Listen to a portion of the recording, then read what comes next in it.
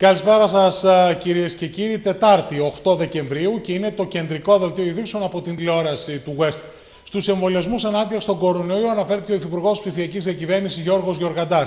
Για τη Βόρεια Ελλάδα, όπου παρατηρείται χαμηλή κινητικότητα όσον αφορά στους εμβολιασμούς, τόνισε ότι το επόμενο διάστημα αναμένεται να υπάρξει εξισορρόπηση, καθώς έγινε πλέον συνείδηση όλων ότι μόνο με τον εμβολιασμό μπορεί να αντιμετωπιστεί ο κορονοϊός. Το ευχάριστο είναι ότι γίνονται καθημερινά 100.000 με 120.000 εμβολιασμοί. Από την ημέρα της ανακοίνωσης για την υποχρεωτικότητα του εμβολιασμού στην ηλικιακή ομάδα των άνω των 60 και παραπάνω, πάνω από 70.000 πολίτες αυτής της ηλικίας έχουν εγγραφεί, έχουν προλάβει να κάνουν την πρώτη δόση. Πιστεύω ότι με το ρυθμό που βλέπουμε θα φτάσουμε σε ένα ποσοστό του 85,5% και θα πετύχουμε το στόχο να περιορίσουμε στο μισό τουλάχιστον αυτούς που αρχικά ήταν ανεμβολίαστοι, τόνισε ο Υφυπουργός.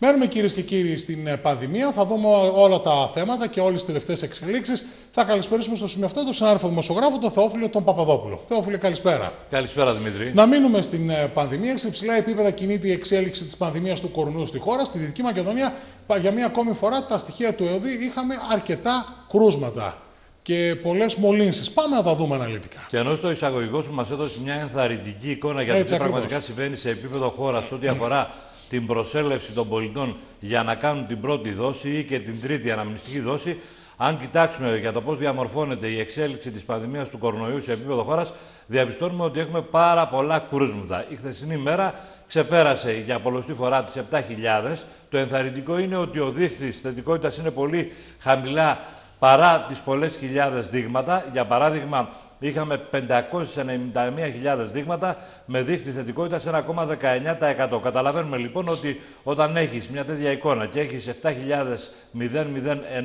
ενεργά κρούσματα, ότι αυτό σου δίνει τη δυνατότητα να βγάλεις πολλά και χρήσιμα συμπεράσματα. Η εικόνα όμως, ό,τι αφορά την περιφέρεια Ειδικής Μακεδονίας, εξακολουθεί να παραμένει προβληματική. Υπάρχει μια ανησυχία και δικαιολογημένα από την πλευρά των πολιτών, γιατί έχουμε πάρα πολλά κρούσματα. Χθες είχαμε 248 νέες μολύσεις, νέα ενεργά κρούσματα της πανδημίας του κορονοϊού, τα οποία κατανέμονται. 13 στην Περιφερειακή Ενότητα Κρεβενών, 31 στην Περιφερειακή Ενότητα Καστοριάς, 167 στην Πρωταθλήτρια. Και το λέω αυτό, το τονίζω, μπας και κάποιοι ξυπνήσουν κυριολεκτό κιόλας και αρχίζουν να εμβολιάζονται στην Κοζάνη και 37 στην Περιφερειακή Ενότητα Φλόρινα. Είναι πάρα πολλά τα κρούσματα για τη Δυτική Μακεδονία. Είμαστε οι παθώντε, είμαστε αυτοί οι οποίοι πληρώσαν, ας πούμε, επιτραπεί έκφραση, Μα το τίμημα το lockdown ψηλά, πολύ ναι. περισσότερο από οποιαδήποτε άλλη περιοχή στη χώρα και δεν βάζουμε μυαλό. Αν είναι δυνατόν, δεν μπορεί να συμβαίνουν αυτά τα πράγματα. Τώρα, να πούμε ότι στην περιφερειακή ομάδα Κοζάνης Κοζάνη πραγματοποιήθηκαν 300 rapid test με 33 θετικά, αφορούν σε 9 άνδρες και 24 γυναίκες με διάμεση ηλικία τα 36 έτη και περιφερειακή ομάδα Κοζάνης, πνευματικό κέντρο του Λεμαίδα, 145 rapid test με ένα θετικό και αφορά σε ένα κορίτσι 11 ετών. Επίσης, να πούμε ότι αύριο, 5η 9 Δεκεμβρίου, στην κεντρική πλατεία της Κοζάνης θα πραγματοποιούνται δωρεάν rapid test από τις 10 το πρωί έως τις 1 το μεσημέρι για όλους τους ε, πολίτες που θέλουν να, να πραγματοποιήσουν ε, rapid test. Δημήτρη, και το ανησυχητικό είναι ότι όλοι μας έχει, έχουμε ε, ε, έχουμε πέσει σε ένα περιβάλλον να χάσουμε πολύ κοντινά μας πρόσωπα. Δεν υπάρχει άνθρωπος ο οποίος δεν έχει χάσει, δεν έχει φύγει από κοντά του, δεν έχει φύγει από από, κάπου, από κάποιους φίλους, κάποιους γνωστούς. Το ναι. οποίο το χτύπησε ο κορονοϊός. Και δεν μας προβληματίζει, που έπρεπε να μας προβληματίσει τα μάλα αυτή η κατάσταση και να σοβαρευτούμε ακόμα περισσότερο. Δυστυχώς διαπιστώνω καθημερινά ότι πάρα πολλοί άνθρωποι εξακολουθούν να συμπεριφέρονται με μεγάλη ελαφρότητα, με μεγάλη υπολαιότητα, εξού και ότι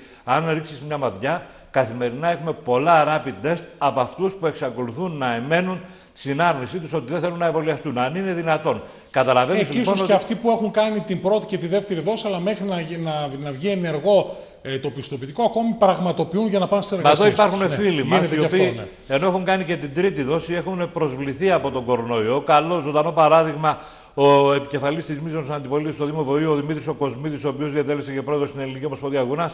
Δόξα τω Θεώ είναι καλά. Περαστικά, ναι, Έκανε την τρίτη δόση και μετά από δύο mm. μέρες διαπιστώθηκε ότι είναι θετικό στον κορονοϊό. Καταλαβαίνεις λοιπόν. Καλά, δεν, έχει, ναι, δεν έχει πρόβλημα. Και καλά να είναι όλοι τους. Είτε έχουν εμβολιαστεί είτε όχι, αλλά το λέμε αυτό για να δώσουμε ένα μέγεθος της σοβαρότητας που υπάρχει σε ό,τι αφορά την πανδημία. Πρέπει ο καθένας μας να είναι πολύ προσεκτικός, να λειτουργεί σοβαρά και υπεύθυνα και πραγματικά βλέποντας πώς εξελίσσονται τα πράγματα να μην βάζει αλλά στον ίδιο τον εαυτό σε ό,τι αφορά βέβαια την ανθρώπινη ζωή. Καθαρά πράγματα. Έτσι. Εμβολιαζόμαστε για να προστατεύσουμε πρώτα εμάς, αλλά και γενικά μετά να δημιουργήσουμε ένα συνολικό τείχος προστασίας ενάντια σε, αυτό, σε αυτή την κατάρα που ακούει το όνομα πανδημία του κορονοϊού. Τώρα να αλλάξουμε κλίμα, θα πάμε στο Κινάλ. Μπήκαμε στην τελική ευθεία για τις κάλυπε της Κυριακής και δύο μονομάχοι ο Νίκος Ανδουλάκη και ο Γιώργος Παπανδρέου παίζουν τα ρέστα τους. Πάμε να δούμε τι ακριβώς γίνεται και μην ξεχνάμε Παρασκευή ο Νίκος Ανδρουλάκης, ο υποψήφιος πρόεδρος του Κινάλ, του Πασό και ευρωβουλευτής θα είναι στην Κοζάνη. Να ξεκινήσουμε από αυτό. Έχει οριστικοποιηθεί, δόθηκε και στη δημοσιότητα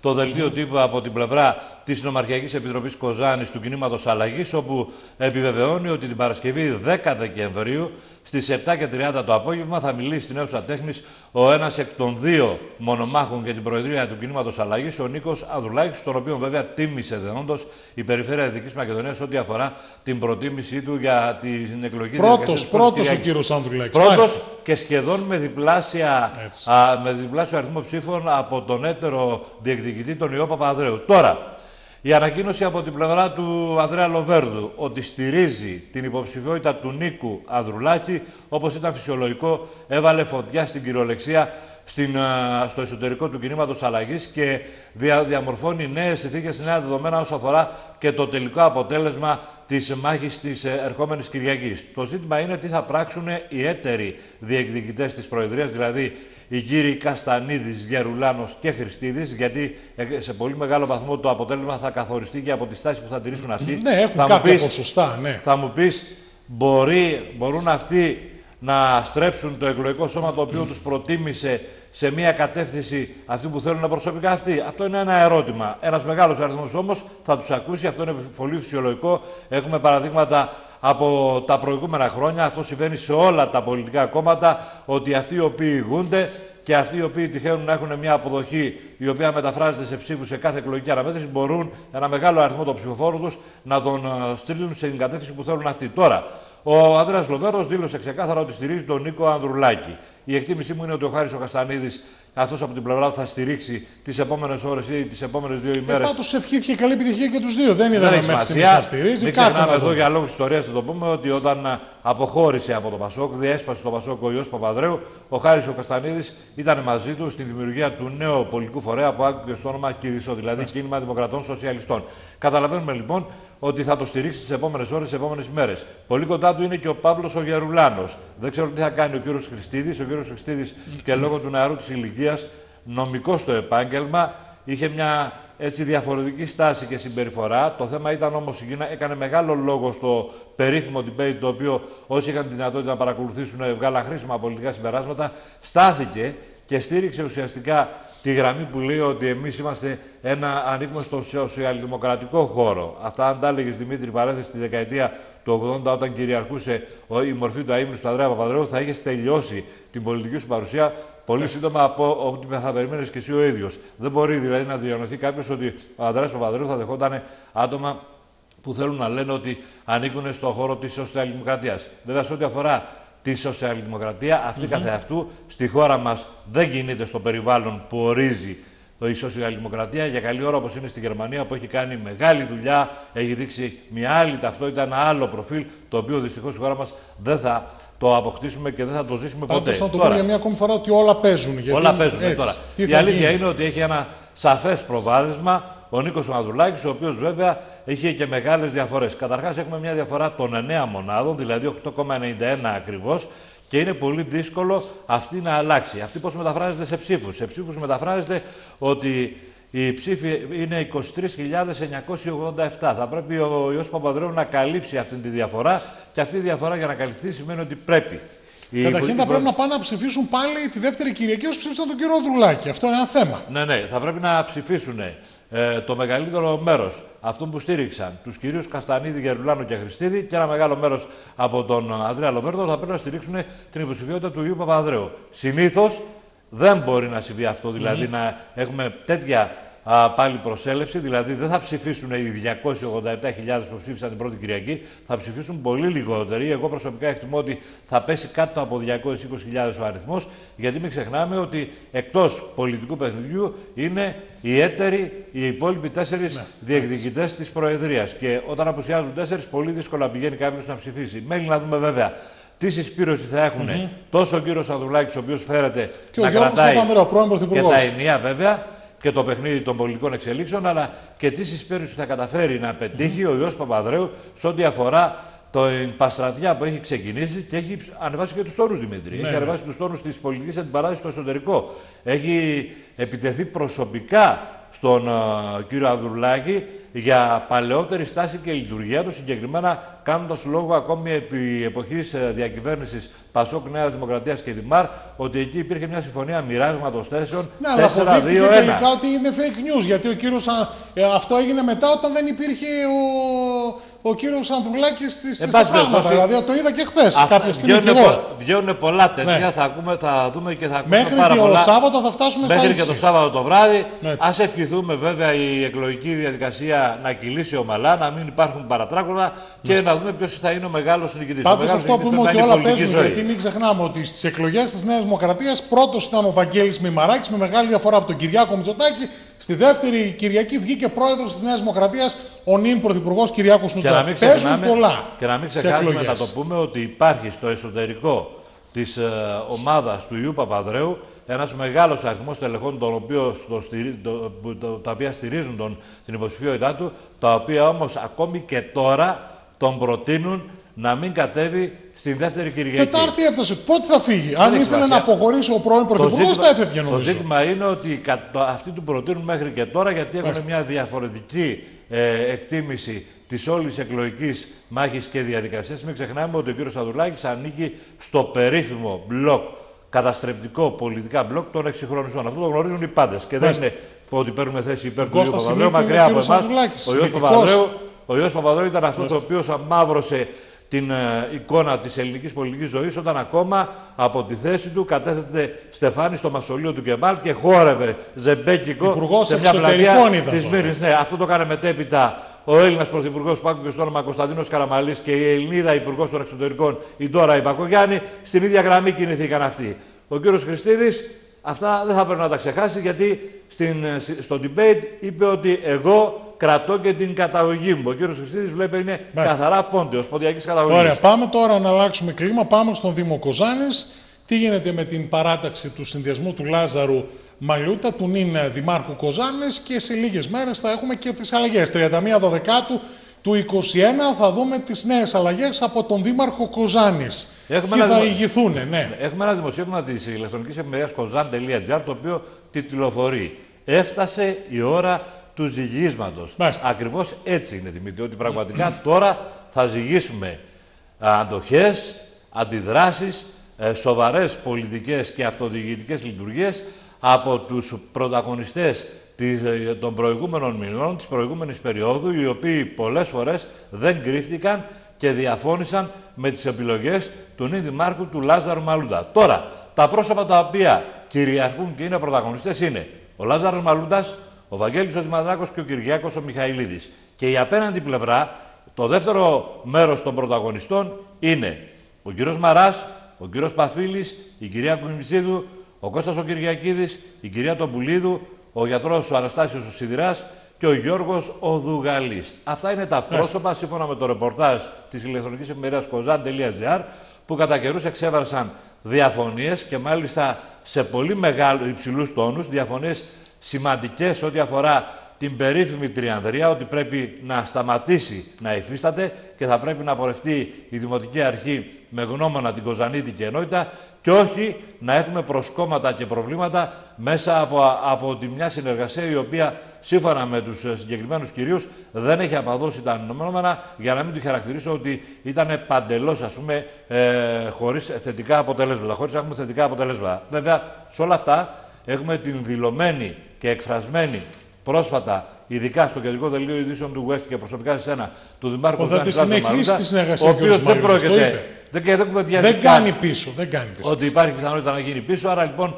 θεωρούμε δεδομένο ότι ο Λάζαρος Μαλούτα θα συνεχίσει αυτήν τη συνεργασία της Τριάδριας. Άρα λοιπόν τι περιμένουμε, περιμένουμε από τα πρόσωπα που προαναφέραμε και τα λέμε για ακόμη μια φορά τον κύριο Μάρα, τον κύριο Παφίλη, την κυρία Κουιμψίδου, τον κύριο Κυριακίδη, την κυρία Τομπουλίδου, τον κύριο Σιδηρά και τον κύριο Δουλεγαλή, μετά από την συνέχιση της συνεργασίας με τους κυρίους Μανδράκου και Μιχαηλίδη από την πλάτη του Λάζου Αρμάλουτα να βγάλουν τα λευκά μαντελάκια και να τα κουνήσουν στο πρόσωπο του Λάζου Αρμάλουτα. Εκτό αν δούμε να αλλάζουν θέσεις οι κύριοι Σιμανδράκο και ο συνδυασμός του να πάνε σε άλλες αντιδημαρχίες.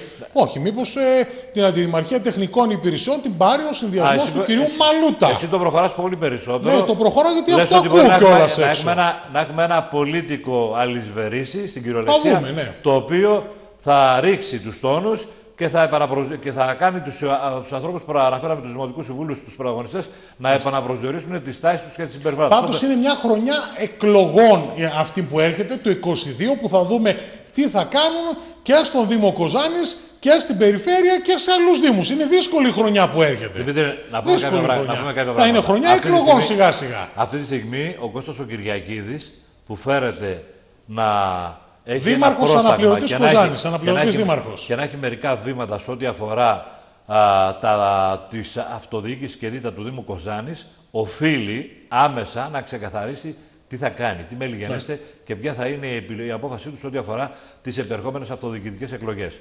Σύμφωνα βέβαια με το στενό του περιβάλλον, ο κ. Κυριακίδης αρχή της χρονιάς, το αργότερο, θα ανακοινώσει τις προθέσεις του, που η πρώτη εκτίμηση κάνει λόγο ότι θα ανεξαρτητοποιηθεί και θα ανακοινώσει επίσημα την κάθοδό του στις, ε, και θα για να διεκδικήσει το δημαρχικό χώρο θόκος στι επόμενες αυτοδιοικητικές Είναι μια σκέψη αυτή που λες. Κάτσε, θα τη δούμε. Αυτό θα το δούμε. Τώρα, κοντά σε αυτόν, από τα άτομα που αναφέραμε, θα είναι σχεδόν όλοι. Το πολύ πολύ να μην είναι ένα ή δύο. Και αυτά πάντοτε με μια επιφύλαξη. Εκτιμώ ότι όλοι τους θα στελεχώσουν την προσπάθεια του Κώστα του Κυριακίδη και με δεδομένο ότι ο, κ. Κυριακίδης έχει χαρακτηριστικά τα οποία τα γνωρίζουν οι πάντες από την καθημερινότητά του, από την επαγγελματική του δραστηριότητα. Είναι ίσως ο μοναδικός ο οποίος μπορεί να ανοίξει τις πόρτες όλων των εμπορικών καταστημάτων, να ανοίξει όλες τις πόρτες των επιχειρηματιών της Κοζάνης, να συνομιλήσει μαζί τους και να τους ζητήσει να το στηρίξουν στην προσπάθεια που θα αναλάβει και θα την ανακοινώσει. Γι' αυτό λοιπόν η υποψηφιότητά του είναι μια πολύ καλή υποψηφιότητα, μια πολύ ισχυρή υποψηφιότητα που δύσκολα κάποιος θα μπορέσει να την αντιπαλέψει. Μένει να δούμε βέβαια αν έχει την τόλμη, αν έχει το θάρρος και αν έχει την δύναμη να το πράξει.